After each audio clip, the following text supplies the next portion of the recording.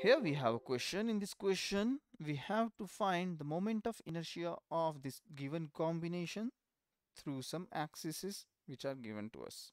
So first of all, let's understand what is moment of inertia.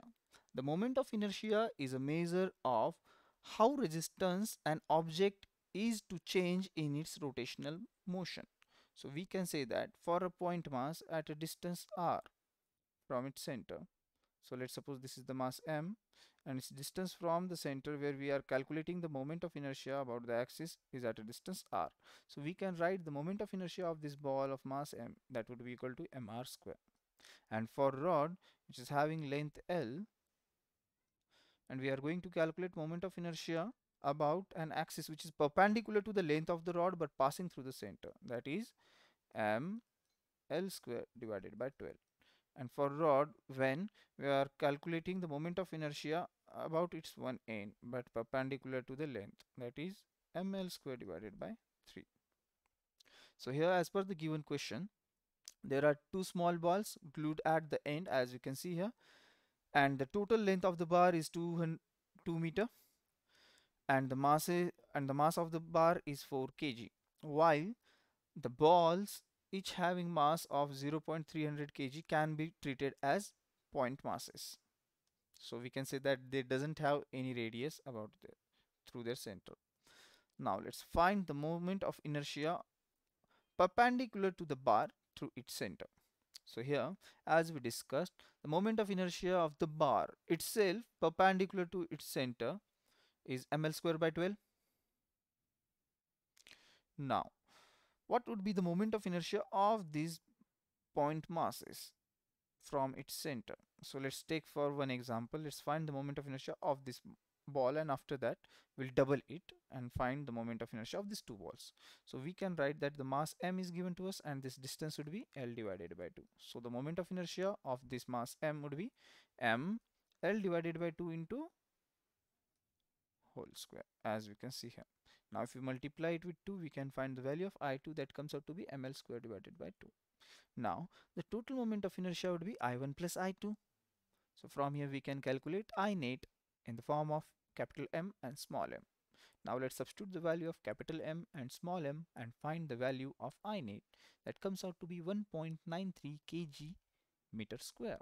Therefore, the moment of inertia of the combination of bar and two balls about an axis perpendicular to the bar through its center is 1.93 kg meter square about this axis.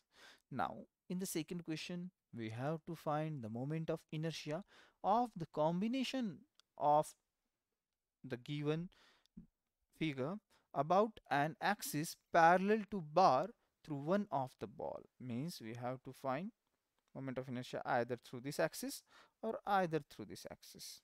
So let's consider we'll calculate moment of inertia about this axis. So here the moment of inertia of the rod about its one end would be ml square divided by 3 and of this mass would be m l square. So as we know this mass is this mass is point mass. So we can consider that its moment of inertia would be 0 because its distance from the center is 0 so we can add this ml square and ml square by 3 and find the total moment of inertia of the given system. So as we know the value of i1 which is ml square divided by 3 and value of i2 which is ml square. So from here we can find the equation in capital M and small m. Now as we substitute the values we can find the value of i net that comes out to be 6.53 kg meter square Hence, we can say that the moment of inertia of the combination of the of about an axis perpendicular to the bar through one of the ball is 6.53 kg meter square. Now let's move forward. In this question, we have to find the moment of inertia of the combination about an axis parallel to the bar but passing through the both balls. So axis perpendicular parallel to the bar but passing through the both balls is only one and that would be this. Now as we know the moment of inertia is directly depending on the distance of the mass from its center.